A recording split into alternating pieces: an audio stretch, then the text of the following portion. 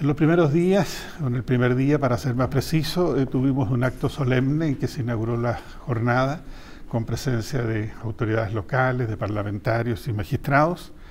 Enseguida recibimos una información de la Universidad de Magallanes, de dos académicas, con todo lo que eh, significa la cantidad de datos que arroja una región, particularmente esta, y su proyección hacia el futuro y la incidencia en el área de justicia.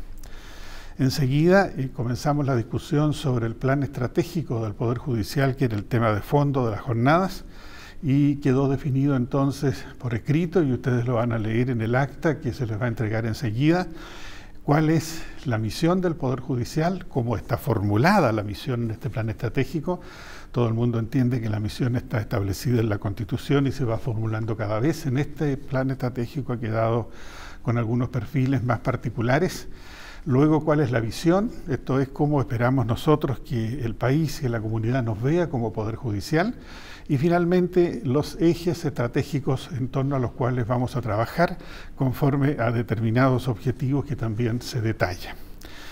Y finalmente eh, terminamos escuchando la exposición de tres distinguidos académicos que nos entregaron su visión del Poder Judicial desde distintos puntos de vista.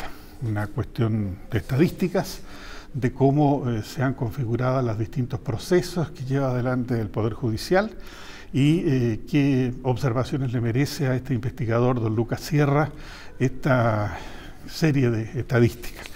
Enseguida eh, tuvimos eh, una exposición de doña Flavia Carbonell, una distinguida académica con eh, títulos en el extranjero de actividades de investigación, que nos habló sobre precisamente la fundamentación de las sentencias y qué críticas se suscitan a propósito de la no fundamentación o la poca fundamentación.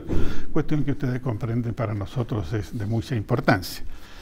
Finalmente, don Jorge Correa, quien ya nos había visitado en otra oportunidad, nos entregó una visión de cómo ve él el momento por el que pasa el Poder Judicial y qué necesita para eh, mejorar su prestigio. Y eso nos pone eh, de frente a diversos eh, desafíos para poder hacer frente a estos requerimientos.